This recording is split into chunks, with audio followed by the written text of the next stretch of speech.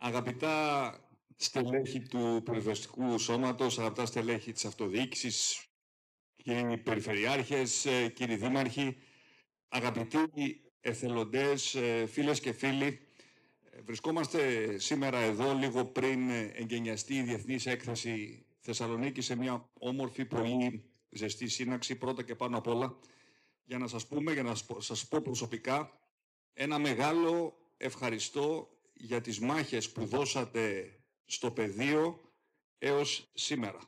Στο πιο θερμό καλοκαίρι το οποίο έχει καταγραφεί τα τελευταία 40 χρόνια, με την κλιματική κρίση πια να είναι παρούσα, με πολύ περισσότερες φωτιές από πέρυσι, με φωτιές όπως είπε ο Υπουργός με διαφορετικά χαρακτηριστικά, περισσότερες φωτιές στη Βόρεια Ελλάδα, περισσότερες φωτιές σε δάση τα οποία στο παρελθόν θεωρούσαμε ότι δεν είναι τόσο επιρροπή σε πυρκαγιές, περισσότερες φωτιές από κεραυνούς σε υψηλά υψόμετρα, εκεί που πρέπει κανείς να σκαρφαλώσει σε βουνά που δεν υπάρχουν συχνά δρόμοι για να φτάσει κανείς. Και όμως παρότι η αντιπυρική περίοδος ακόμα δεν έχει τελειώσει και ξέρουμε ότι έχουμε πολλή δουλειά ακόμα μπροστά μας θα πρέπει να επισημάνουμε ότι φέτος έγινε μια πολύ σοβαρή προσπάθεια και μέχρι σήμερα ο μέσος όρος των καμένων στρεμάτων, παρότι είχαμε πολύ περισσότερες πυρκαγιές και πολύ χειρότερες συνθήκες, είναι σχεδόν 30% μικρότερος από το μέσο όρο των τελευταίων 20 ετών. Και αυτό το οφείλουμε σε εσάς. Και θέλω πραγματικά να σας πω ένα μεγάλο ευχαριστώ. Σας αξίζει το πιο θερμό χειροκρότημα. Γιατί ξέρουμε, ξέρουμε πόσο δύσκολες είναι οι καθημερινές μάχες τις οποίες πρέπει να δώσετε. Και ξέρω και ξέρουμε πόσο πολύ μπορεί όλοι μας να στενοχωριόμαστε.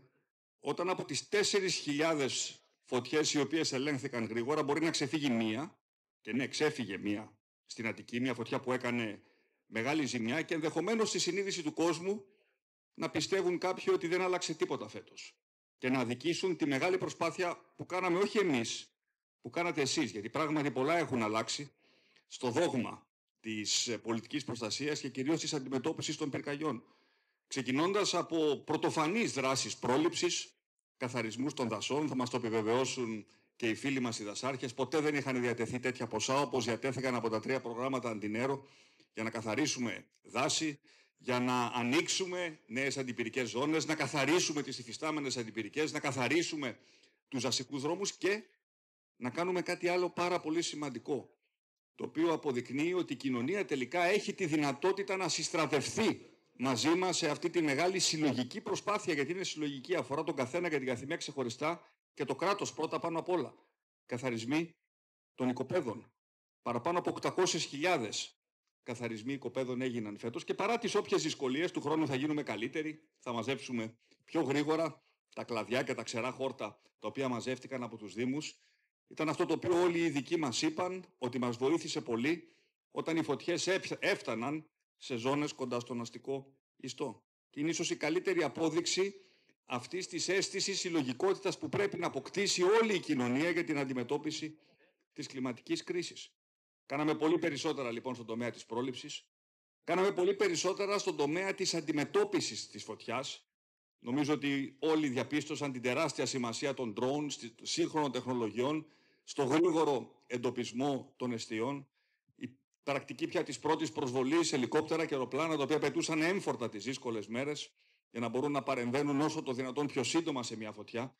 Και νομίζω ότι αυτή είναι και η γενικότερη εικόνα όλων των πολιτών. Πάλι τονίζω με την εξαίρεση της πολύ δύσκολης φωτιάς στην Αττική. Αν σας ρωτούσαμε πριν από τις 10 Αυγούστου, ποια είναι η εικόνα την οποία θα είχατε για τον τρόπο με τον οποίο αντιμετωπίζαμε τις φωτιές, πιστεύω ότι όλοι θα λέγανε και σωστά ότι το κράτος ήταν εκεί, τα εναέρια ήταν εκεί, τα στελέχη της πυροσβεστικής ήταν εκεί με καλύτερη διάταξη δυνάμεων. Τα παιδιά της ΕΜΟΔΕ, θέλω να σου πω ένα ξεχωριστό ευχαριστώ, είναι τα παιδιά τα οποία μπαίνουν μέσα στη φωτιά. Ένα νέο σώμα το οποίο δημιουργήθηκε εξ αρχής, με νέα παιδιά, με άλλη τεχνογνωσία, το οποίο αντιμετωπίζει πια τη φωτιά μέσα στο δάσος, δεν την περιμένουμε απλώς να έρθει στο δρόμο. Όλες αυτές είναι κατακτήσεις. Δεν αναφέρομαι στο 112, το οποίο έχει σώσει πάρα πολλές ζωές, γιατί πρώτη και πάνω απ' όλα βασική υποχρέωση του κράτους είναι η προστασία της ανθρώπινης ζωής. Και βέβαια με πολλές επενδύσεις οι οποίες έρχονται ακόμα. Διότι η κλιματική κρίση είναι μαζί μας, τα πράγματα δεν θα γίνουν καλύτερα, μάλλον θα γίνουν χειρότερα.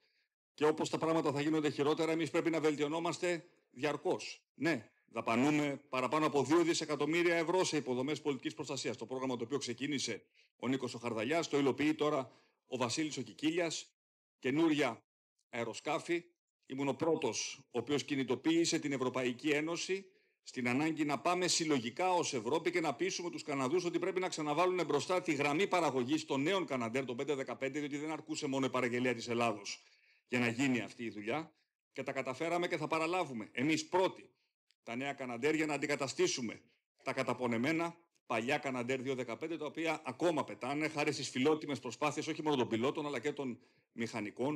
Να αποκτήσουμε νέα ελικόπτερα, πολλά περισσότερα οχήματα, νέες τεχνολογίες έχουμε αντιληφθεί πόσο σημαντική είναι η τεχνολογία και η κατανόηση του τρόπου με τον οποίο μπορούμε να εντοπίζουμε τις πυρκαγιές. Όλα αυτά επιχειρησιακά κέντρα, περιφερειακά επιχειρησιακά κέντρα και πολλά ακόμα, τα οποία υλοποιούμε μέσα από το πρόγραμμα εκεί. Και βέβαια, να πω και κάτι τελευταίο, ναι και η αποκατάσταση έχει τη δικιά της ξεχωριστή σημασία. Η ταχύτητα με την οποία κινούμαστε, ήδη γνωρίζετε πολύ καλά όσοι μπορεί να έρχεστε από τον, από τον Εύρο ή από τις περιοχές της Αττικής, πόσο επιτυχημένος ήταν ο θεσμός των αναδόχων ε, αναδασώσεων. Ήδη από τώρα έχουμε ήδη τους πρώτους αναδόχους, λίγες εβδομάδες μετά τη φωτιά της Πεντέλης για τις πρώτες αποκαταστάσεις οι οποίες θα γίνουν και τη στήριξη βέβαια την οποία παρέχουμε σε κάθε τοπική κοινωνία η οποία έχει πληγεί από την πυρκαγιά και θα βρεθούμε πριν το τέλος του μήνα στον Εύρο να μιλήσουμε για την επόμενη μέρα του Εύρου μετά την καταστροφική, μεγάλη, τη μεγαλύτερη στην Ευρώπη πυρκαγιά την οποία αντιμετωπίσαμε πέρυσι στον Εύρο και στο δάσος της Αδιάς. Οπότε δεν θέλω να μακρηγορήσω γιατί ο απολογισμός θα γίνει στα τέλη Οκτωβρίου και θέλω πάντα να είμαι συγκρατημένος γιατί ξέρω ότι έχουμε ακόμα δύσκολες μέρες μπροστά μας. Θα κλείσω όπως ξεκίνησα. Τίποτα από όλα αυτά τα οποία, για τα οποία σας μίλησα δεν θα μπορούσε να γίνει χωρίς τους ανθρώπους στο πεδίο. Και ένα ξεχωριστό ευχαριστώ στους εθελοντές μας. Αξίζουν το πιο θερμό χειροκρότημα είναι αυτοί οι οποίοι θυσιάζουν τον ελεύθερο χρόνο τους, χωρίς καμία απολαβή, σε πολύ καλύτερη συνεργασία. Οφείλω να το τονίσω, γιατί μία από τις μεγάλες επιτυχίες μας είναι ότι έχουμε πια καλύτερο συντονισμό. Οι δασικές υπηρεσίες, οι οποίες στο, στο παρελθόν ήταν κάπου χαμένες στις αποκεντρωμένες διοικήσεις, τώρα υπάγονται πια στο Υπουργείο Περιβάλλοντος και κάθονται στο ίδιο τραπέζι μαζί με τους πυροσβέστες, μαζί με τους εθελοντές, μαζί με τους πιλότους μας, μαζί με τις ένοπλες δυνάμεις, οι οποίες και αυτές βοηθούν στις δύσκολες μέρες τις οποίες έπρεπε να διαχειριστούμε. Αλλά για τους εθελοντές θέλω να πω πραγματικά ότι σας αξίζει το πιο μεγάλο ευχαριστώ. Αυξάνονται οι αριθμοί των εθελοντών και θα αυξηθούν κι άλλο και αυτό θα σας έλεγα ότι είναι η καλύτερη απόδειξη ότι πια αντιλαμβανόμαστε ως κοινωνία ότι το κράτος τελικά είμαστε όλοι μας. Δεν υπάρχει ένα κράτος απομονωμένο το οποίο δεν ταυτίζεται και δεν τέμνεται με την ίδια την κοινωνία. Θα προχωρήσουμε λοιπόν μαζί δυνατά. Θα κάνουμε τον απολογισμό μας στο τέλος της αντιπυρικής. Θα μάθουμε και από τα λάθη μας, γιατί κάθε χρονιά πρέπει να γινόμαστε καλύτεροι. Αλλά πιστεύω πραγματικά ότι το νερό έχει μπει στο αυλάκι και αυτό οφείλεται σε εσάς. Σας ευχαριστώ πάρα πολύ και εύχομαι σε όλες και σε όλους καλή δύναμη και να τελειώσει καλά η αντιπυρική περίοδος.